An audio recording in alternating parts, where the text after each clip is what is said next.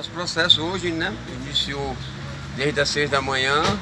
É, nós estamos felizes porque assim, nós tivemos alguns, alguns problemas pontuais é, que acontecem na maioria das eleições, mas graças a Deus até o momento é, tudo caminhando normalmente, a participação do eleitorado. É, eu sei que não é bom para o eleitor ficar em fila, mas a gente fica feliz que, quando a gente vê fila porque a gente vê que a participação está boa.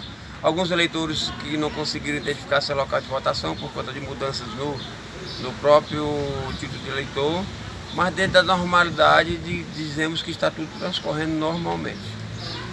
Alguma reclamação por parte do eleitor, questão da demora na fila? É, tem eleitores que reclamam porque assim, como as urnas foram é, agregadas, né, ficaram todos juntos, tem locais de votação, como é o caso aqui da escola da escola Bucaneto, que ultrapassam 3.500 eleitores no mesmo local de votação.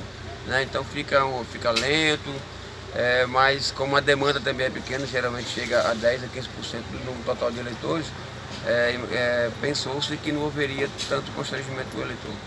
O promotor esteve aqui, Bucaneto, frisando que tem candidatos tentando infringir o regulamento ou o estatuto, né? O negócio é meio complicado, carregando aí eleitores e ele foi bem claro, né? Que não pode, cada um tem que se virar para chegar até o seu local de votação, né? É, se alguém está realizando essa prática, nessa denúncia chegou até nós é, via telefone e por coincidência nós estávamos com, com o nosso promotor José Delio Matéria, que disponibilizou ainda mais três pessoas na equipe que estão circulando e nós imediatamente passamos para ele também e ele foi verificar em loco essa denúncia, né? Então nós temos aí 24 horas para apurar todos as possíveis é, denúncias e infrações.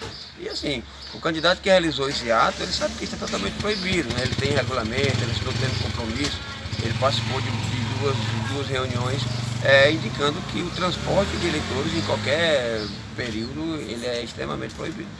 Está aí, a comissão eleitoral está aí é, conduzindo as eleições do Conselho Tutelar, presidido por José Maria, a professora Rosa, e também a NET, né? Então, boa caminhada aí para vocês aí.